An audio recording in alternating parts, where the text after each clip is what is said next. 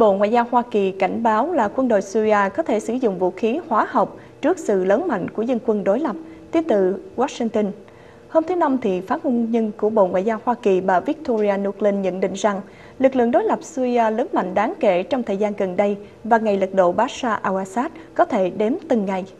Trả lời tới các cơ quan truyền thông quốc gia, bà Nuland nói rằng Hiện nay chưa có một sự tiên đoán chắc chắn ngày tháng nào chấm dứt chế độ Bashar al-Assad, nhưng nếu theo dõi diễn tiến thời sự, với sự lớn mạnh của lực lượng vũ trang tự do Syria đang lớn mạnh và bao vây tấn công thủ đô Damascus, dựa vào các sự kiện này thì có thể tiên đoán là chính quyền al-Assad không bao lâu nữa sẽ bị đánh bại và thời điểm tính bằng từng ngày. Vào thời điểm không lâu trước đó, thì Tổng thư ký NATO tướng Rasmussen đã từng lên tiếng nhận định chính phủ Awasat đang bị dồn vào đường cùng và có thể chuẩn bị kế hoạch sử dụng vũ khí hóa học có sức công phá hàng loạt hòng để tiêu diệt lực lượng vũ trang tự do Syria. Và song song đó, ông Rasmussen tố cáo quân đội Syria đã sử dụng loại hỏa tiện Scud có sức hủy hoại vùng rộng lớn, vi phạm hiệp ước chiến tranh.